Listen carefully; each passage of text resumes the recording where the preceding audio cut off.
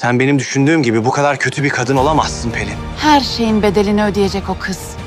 Benim hamilelik test sonuçlarıma sayılı günde öleceğim hakkında yalan bir test sonucu koyacak kadar insafsız olamaz.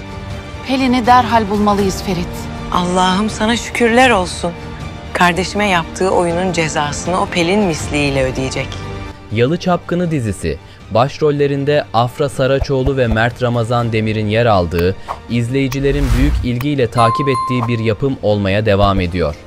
Afra Saraçoğlu'nun Amerika'dan dönüşü ve Mert Ramazan Demir'in Tamir Adam filminin çekimlerini tamamlamasıyla yeni sezon hazırlıkları hız kazandı. Seyran ve Ferit karakterlerini canlandıran oyuncuların ayrılık haberlerine rağmen diziden ayrılmayacak olması hayranlarını sevindirdi. Ayrıca Suna ve Abidin karakterlerini canlandıran Beril Pozan ve Ersin Arıcı'nın gerçek hayatta evlenmeye hazırlanması set içinde yeni bir heyecan dalgası yarattı. Yeni sezon fragmanının Eylül ayında yayınlanması bekleniyor.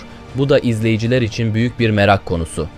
Bu gelişmeler Yalı Çapkını dizisinin popülaritesini koruyacağını ve yeni sezonda da ilgi odağı olmaya devam edeceğini gösteriyor.